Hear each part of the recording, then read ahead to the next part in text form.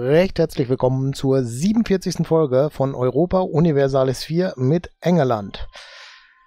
Ja, wir hatten letztes Mal noch so ein paar Fenster, die wir zugemacht haben und äh, da drüben waren noch ein paar Eingeborene, die am Kämpfen waren. Da sind wir jetzt am Arbeiten dran, dass das besser wird. Hier haben wir noch eine Kanone in Auftrag.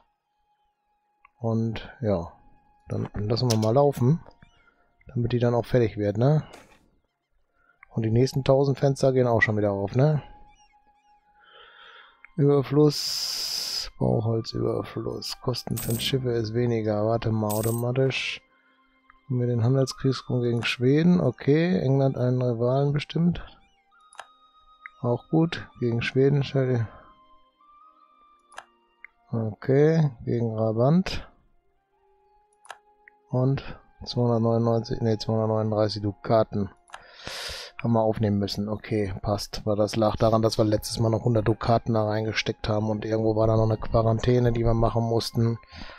Ja, ist so, ne? Und jetzt haben wir hier noch Transportschiff. Zack. Nee. Gehen wir da wieder hin? Ja, da wollte ich hin. Ich wollte noch ein Schifflein bauen. Wenn wir das jetzt gerade schon machen können, dann sollten wir dieses tun. So. Flotte. Muss wieder größer werden. Sonst dabei auch was mit Dingens, ne? Wenn wir hier Schweden als Kollegen haben möchten, dann müssen wir eine bessere Flotte haben, oder wie war das, ne? Bündnis hier. Armeestärke ist schlecht und ja, der Rest auch. 47, 84. Gut, da müssen wir noch was tun. Können wir wieder laufen lassen. Äh, ja, Truppen. Wie ist mit Truppen? Hier oben sind 17. Was ist mit Orkneys? Die wollen wir konvertieren, oder wie war das? Kriegsrung gegen Schweden, jo, ist klar. Gegen Brabant. Häfen blockieren, genau. Was will Portugal? Ah, Portugal hat die Welt umsegelt, alles klar.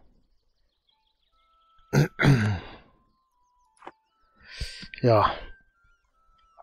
Wie viele Schiffe haben wir hier? Nur eins oder was? Tatsächlich, versucht da ein Schiff. Sag mir das. Ha, da ist doch irgendwas fehlgelaufen, oder? Fahrt ihr mal dahin, ne? Ein Schiff, glaubst es nicht. So, da sind schon drei Kanonen, ne? Das ist schon mal gut.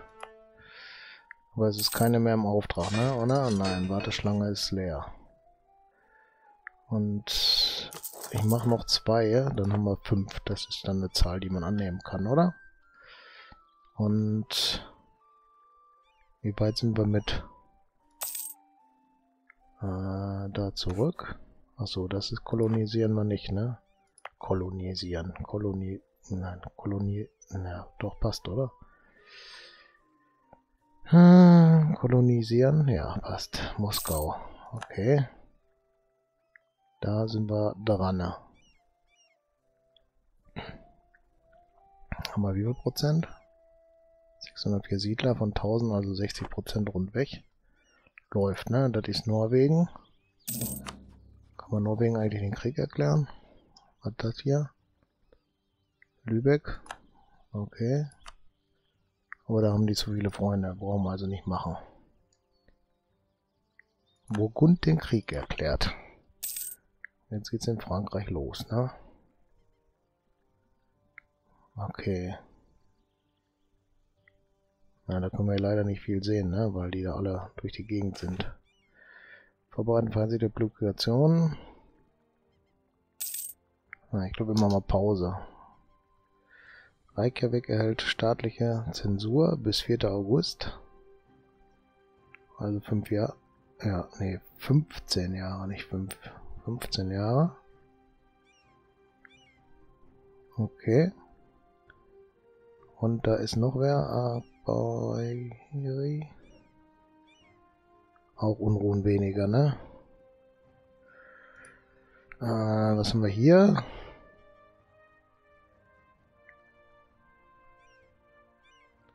Oh, ich glaube, Institutionsform Vorbereitung, minus 5. Machen wir so, anders ist es schlechter. Handelskrieg Grund verloren, macht alle nix. Oh, schon wieder was. Wir haben einen Handelsdisput, Kriegsgrund gegen Frankreich, okay.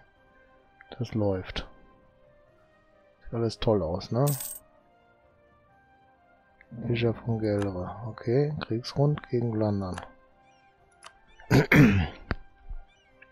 Aber bringt uns alle nichts hier, weil wir ja nicht... Sag schon, ja, Calais wäre, ne? Oh, guck mal, das ist noch nicht mal mehr Dingens, oder was? Ne, nix Beziehungsverbesserung, sondern Geheimdienstaktion. Müssten wir eher ein Spionagenetzwerk aufbauen. Wieso geht das nicht? Die Fenster, ne? Die gehen ja eins nach dem anderen auf.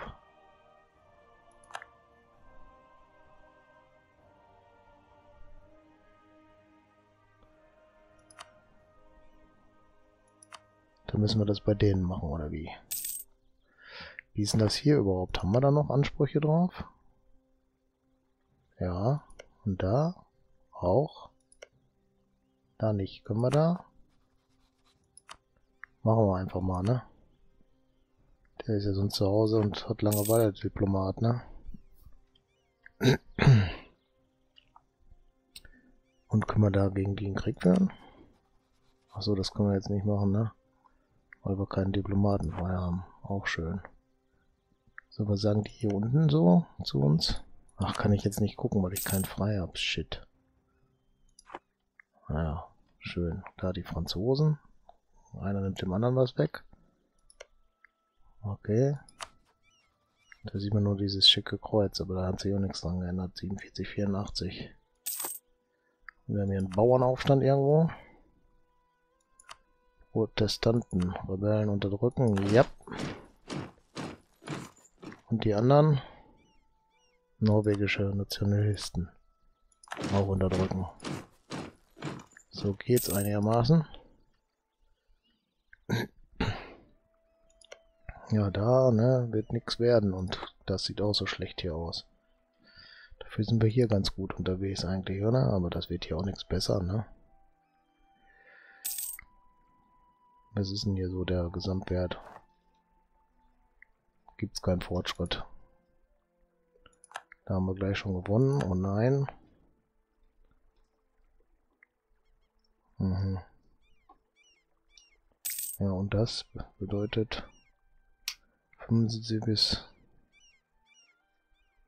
Preis für Getreide verändert sich um minus 75 Prozent. Super, oder? Ja, ist so. Kann man auch nicht ändern. Was haben wir hier? Schickt ihn nach Rom. Papsteinfluss oder Prestige? Definitiv Prestige. Ja, und was hatten wir jetzt hier gerade? Bilanz ist positiv. Korruption ändert sich nicht. So. Ein Prozent mehr, dann läuft schon. Ein Darlehen wird bald fällig. Haben wir nur noch? Oh, jetzt die Balance wieder negativ. So, Norwegen kann man jetzt den Krieg erklären. Toll, oder?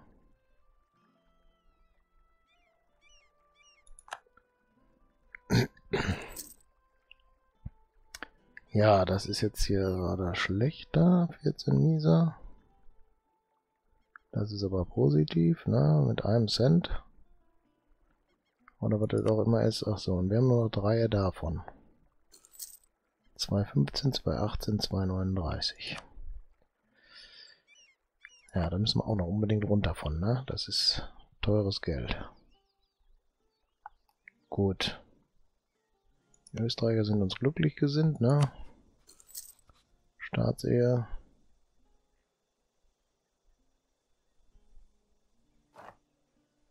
Ein bedeutender Mann in der Nation, ein Schatzmeister, okay. Und da gibt es eine Debatte.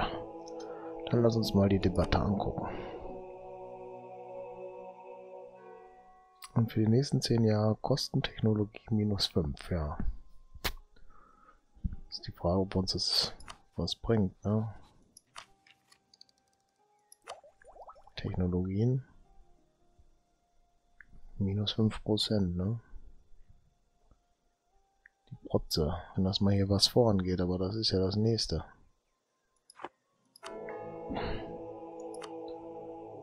Ja, Regeneration Seeleute kosten Schiffe. Baugeschwindigkeit, Kosten. Das ist das Erste, was ich schon sagen würde, ist gut.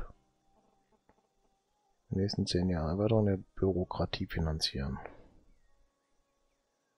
Das bringt mir nichts. Das bringt mir auch nicht wirklich was, ne? Kosten Kulturänderung, obwohl wir gerade dabei sind, Kulturen zu ändern, ne? teuer ist uns das denn?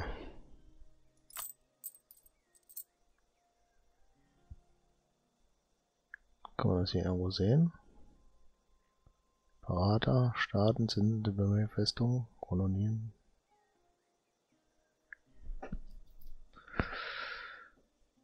Wachstumsrate von 55. Mission. Konvertierungschance.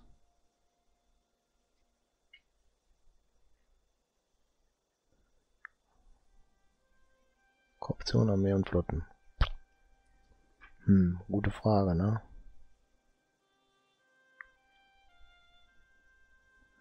Wenn das runtergeht, das sind... Wir haben drei Missionare, die jeweils mit 8,600 kosten jährlich Unterhalt bei 100% konvertieren.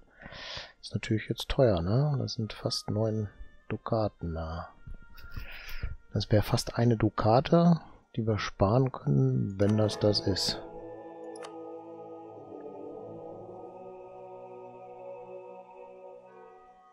Und für die nächsten zehn Jahre Kostenberat? Nee, das war es nicht. Kulturänderung da.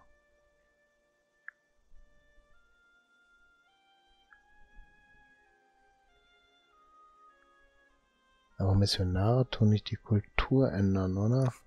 Die machen ändern den Glauben. Lass uns mal gerade hier oben gucken.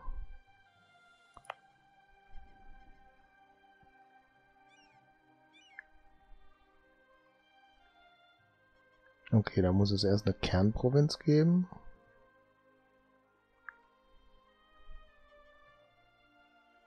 Hm. Da gibt es keine Reserven für Rekrutierung. Ist hier eine Kulturänderung? Ist auch norwegisch.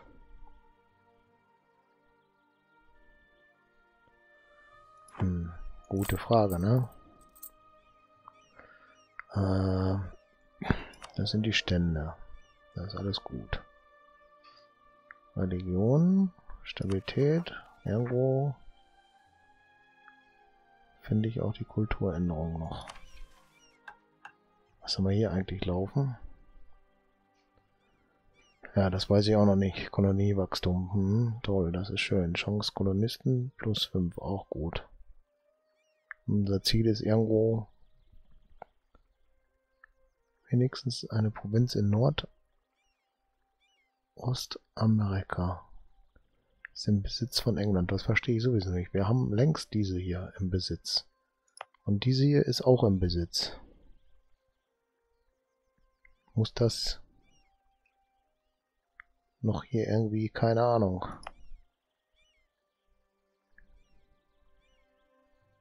Das ist schon eigenartig. Ja. So, die Kosten da sind jetzt nicht das Entscheidende, sondern Armee vergrößern. Machen wir hier.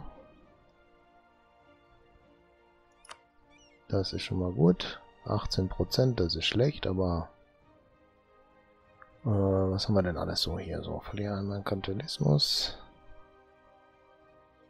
Militärische Macht verlieren wir 12, das können wir gleich schon nehmen. Beabseinfluss gar kein Problem. Da ist die Kohle weg, das ist eher schlecht. Korruption möchte ich jetzt auch nicht gerade haben. Der kriegt lokale Autonomie. Würde die Unruhen ein bisschen besänftigen. Hm. Wie viel haben wir denn jetzt schon? 56. Dukaten sind mir zu viele. Zack.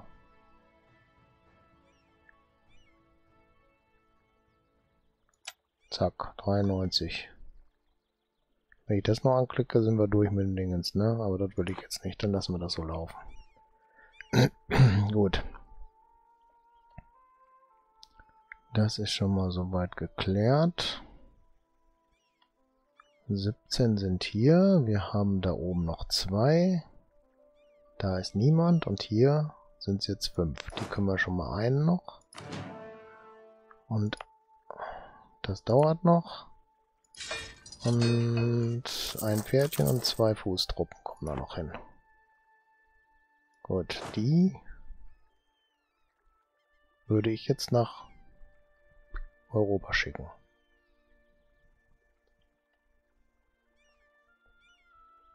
Ja, machen wir. Und das ist auch okay. Schicken wir die rüber. Läuft, ne? Läuft, lassen wir laufen. Okay, sind wir jetzt hier noch Unruhen? Die kommen schon wieder, die Rebellen. Protestantische Fanatiker niederschlagen. Handelsliga aufgelöst. Okay. Die kommen immer wieder hoch, ne? Und wer kommt da wo mit 10.000 Mann raus? Okay, okay. Sind immer noch die norwegischen Kasper.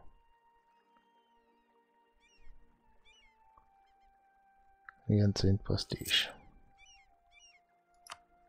Boah, das ist schon 39. Was passiert denn da jede Runde? Oh ne, das geht sogar plus. Wow, hätte ich jetzt gar nicht mit gerechnet.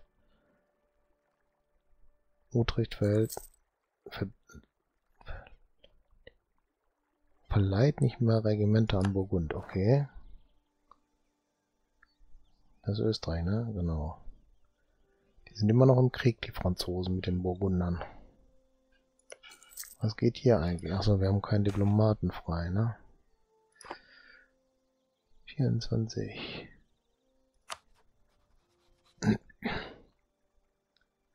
Hält fünf Lesen an noch eine Stelle Versammlung. Okay. Der ist gestorben, Kommandant. War der jetzt von den Truppen? Oh, die sind... Achso, da sind die neuen Truppen angekommen. Alles klar. Dann verbinden wir die mal. Und ist da jetzt ein Dingens da? Nein, nicht mehr. General rekrutieren. Kostet uns 50, ist klar. Und dann müssen wir den gerade dazu nehmen. Und der kann Belagerung, der kann Nahkampf. Okay, das wenigstens etwas. So, die Schiffe sind hier. Wo sind die anderen Schiffe? Da oben wahrscheinlich noch, ne? Wir hatten noch welche produziert, ne? Genau so sieht's aus. Die durften nicht mitfahren, ne? Hm, läuft. Bringen die mal dahin.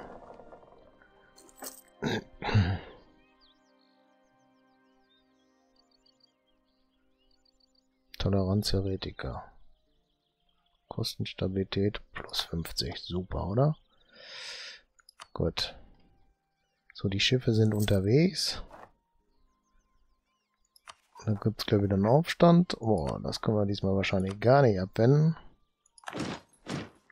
Ja, die anderen gehen schon nicht mehr abzuwenden hier. Zack. Super, oder? Protestantisch Fanatiker.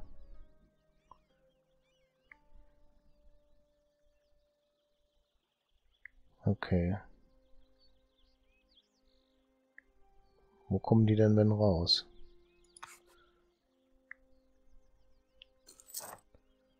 Ja, die müssen wir dann so runterschlagen, wenn.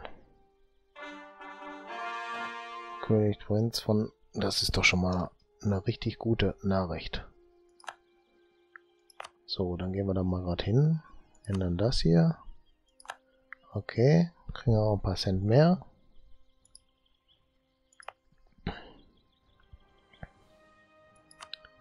Und zur Kernprovinz machen.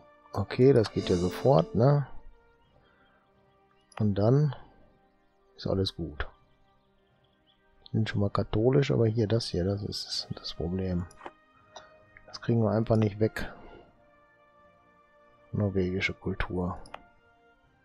Ja, das wird noch was, glaube ich. Englisch, Englisch, das passt. Vielleicht wird es besser, wenn Avalon Englisch ist. 80 Prozent, da können wir, oh, können wir doch machen. Gut, dann jetzt da nochmal einen niederschlagen. Zeit, wie waren das? 13.000?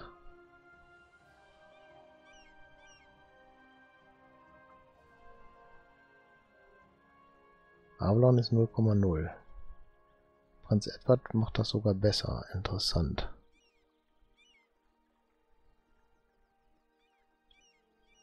Ja. Ich kann jetzt komischerweise nicht sehen, wo die rauskommen, oder? Am Moment des Monats. Ne, weiß ich nicht. Okay. Soll erstmal so sein, würde ich sagen. Aber hier haben wir ein paar Truppen rumstehen. Ich glaube, die setzen wir mal dahin. Die Flotte wird geeint. Zwei Schiffe, waren das zwei Schiffe, die da jetzt rübergekommen sind oder sind die noch unterwegs? Ne, die sind da schon weg. Dann sind die wohl schon angekommen. Die schicken wir mal hier unten in den Kanal. Da stehen die am besten. Sind ja jetzt auch schon ein paar mehr geworden. Und dann würde ich sagen, sind wir für diese Runde erst durch. Ich bedanke mich recht herzlich fürs Zuschauen und würde mich freuen, wenn ihr das nächste Mal auch wieder mit dabei seid. Bis dann. Tschüss.